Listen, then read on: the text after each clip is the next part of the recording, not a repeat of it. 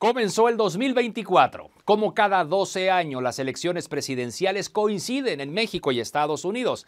Y lo que son las cosas, hace apenas un cuarto de siglo, nuestros vecinos del norte presumían el brillo de su democracia y tachaban a México de realizar una especie de pantomima electoral. Sin embargo, en el año 2000, Estados Unidos vivió la elección más compleja y cuestionada de su historia, cuyos resultados tuvieron que ser determinados mediante una decisión judicial.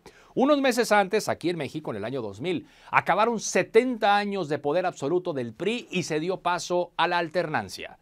En ambos casos fuimos testigos de dos momentos que definieron el desarrollo político democrático de dos naciones que por razones de historia y geopolítica comparten un destino estrechamente vinculado.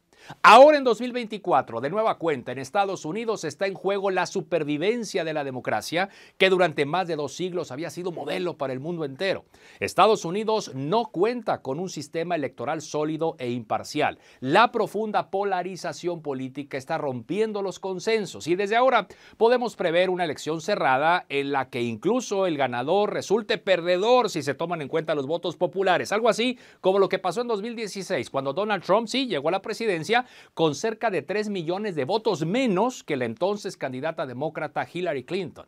Y el riesgo sería mayor, imagínese, con Donald Trump en la contienda, a pesar de sus problemas legales y los intentos en algunos estados por eliminarlo de la boleta electoral. ¿Se puede usted imaginar a Donald Trump resultando perdedor por un estrecho margen? Hace tres años nos dio una muestra de lo que es capaz de hacer. Al día de hoy se le sigue acusando de haber sido el orquestador de aquel asalto al Capitolio. Así que lo que siempre le preocupó a Estados Unidos sobre México hoy constituye un mayor riesgo peligro para ellos. Se invirtieron los papeles en esta especie de paradigma democrático. Aún así, en México no podemos cantar victoria no podemos dejar de mencionar algunos riesgos, comenzando por la intromisión del crimen organizado en los procesos electorales, lo que puede traducirse en asesinatos y hechos violentos o en una participación directa de la delincuencia organizada para movilizar o inhibir el voto, según sea el caso.